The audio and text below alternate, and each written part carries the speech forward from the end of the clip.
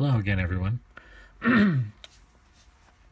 so today I have a uh, Texas Instruments SR40 electronic slide rule calculator.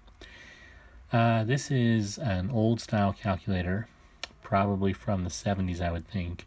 It is being listed on my eBay site, Captain Spaulding's Bargains Unlimited. It will be including the uh, the owner's manual here. Uh, it has the original battery pack. This was in place, and as you can see, there's no corrosion on it. It's really clean. I can't get that to charge though, but interestingly enough, on these calculators, turn it over here for you, they uh, have just a standard 9 volt connector. So I went ahead and put a 9 volt battery, which will not be included in the sale, and there you see, it works.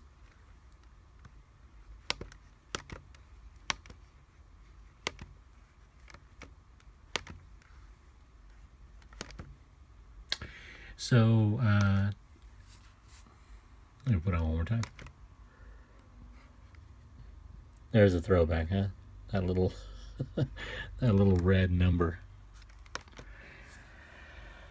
All right, so this item will be coming with the calculator, obviously, uh, the original battery pack, the owner's manual.